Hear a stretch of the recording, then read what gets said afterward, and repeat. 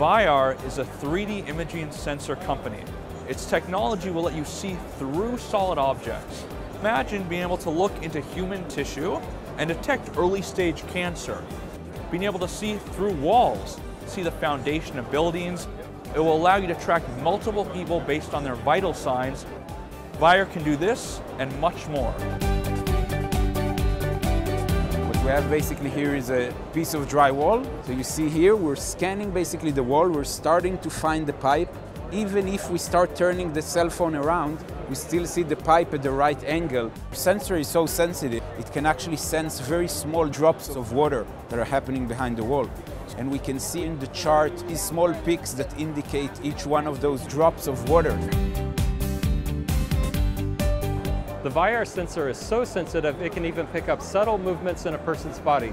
For instance, here we're measuring somebody breathing. This is a normal breath, and when they stop breathing, we can actually detect it. So here we are at the Samsung Innovation Suite, demonstrating people tracking. And if I were to accidentally take a fall, we would see an indicator that I've fallen.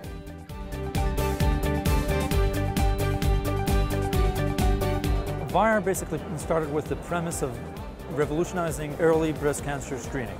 So what we see here, an array capturing a breast with a malignant tumor. What we get out of it is a 3D image. We can vividly see that malignant growth showing up.